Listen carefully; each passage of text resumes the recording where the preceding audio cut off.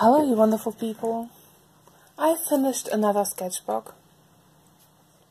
And you may have seen some of those paintings, but definitely not all of them.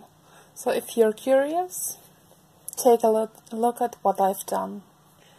I know that I haven't filled it filled the sketchbook with paintings only, but also used it for swatches and practices and just to put out some ideas that I had in my head onto the pages. I also tried out a lot of paint mixing, different palettes, and other things.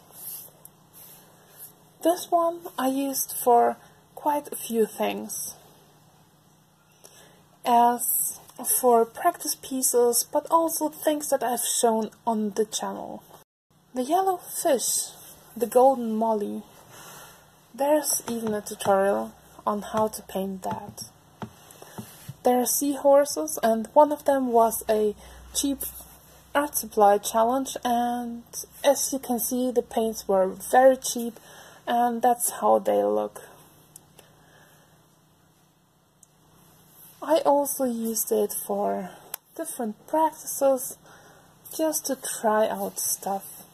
In the end, you will even have some sneak peeks on what videos are to come on this channel.